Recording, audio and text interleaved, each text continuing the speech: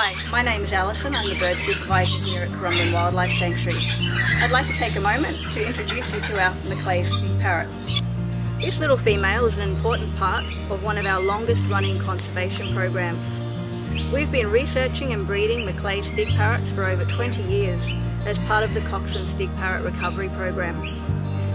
Although the numbers of Macleay's Fig Parrots are stable in the wild, its close relative, the Coxen's Fig Parrot, is not faring so well. With less than 100 birds Coxens of Coxens in the wild, the species is listed as endangered. The information we've gained from breeding and keeping Macleay's Fig Parrots will one day be used to assist us with breeding uh, Coxen's Fig Parrots once they're brought into captivity. One of the biggest challenges for researchers is locating Coxen's Fig Parrot in the wild. Their habitat is fragmented and declining, and as you can see, these fig parrots are very small and cryptic, and they blend in amongst the trees that they feed on very well.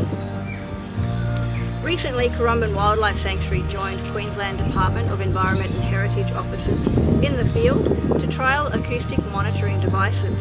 We're hoping that by finding their calls and narrowing down search areas will help us to find this elusive little bird. This new development will hopefully bring us closer to finding Coxen's fig parrot and establishing a captive breeding program. In the meantime, come visit us at Currumbin Wildlife Sanctuary.